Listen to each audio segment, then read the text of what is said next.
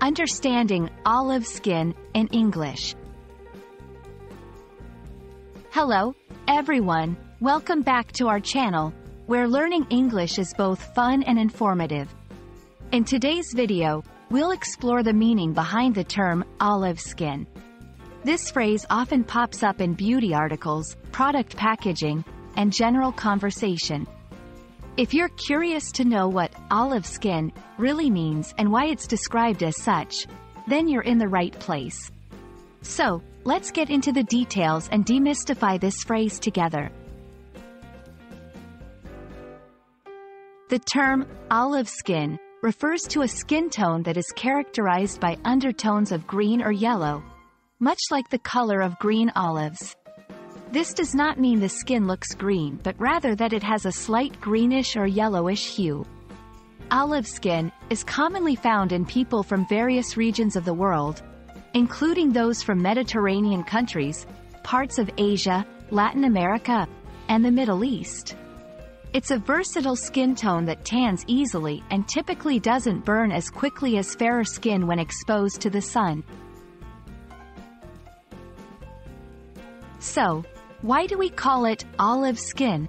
The term comes from the natural color of olive fruit, which varies from light beige to dark tan, just like the skin tone it describes.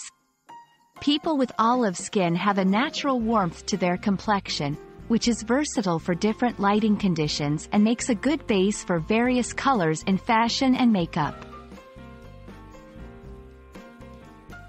Identifying olive skin can sometimes be tricky because it can be confused with other skin tones.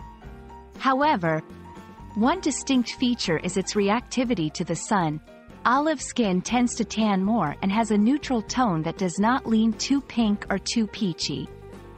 Another way to identify olive skin is by looking at the veins on your wrist.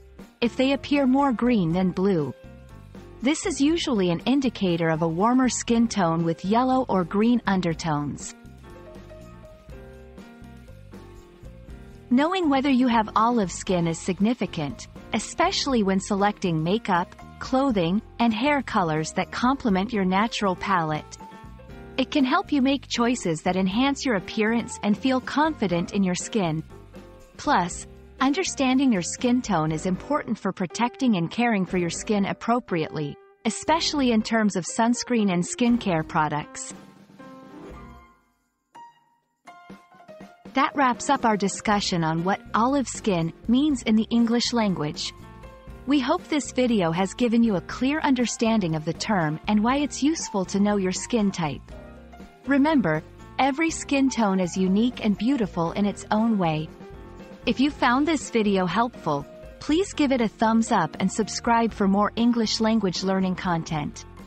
Until next time, keep learning and stay confident in your conversations. Goodbye, and take care.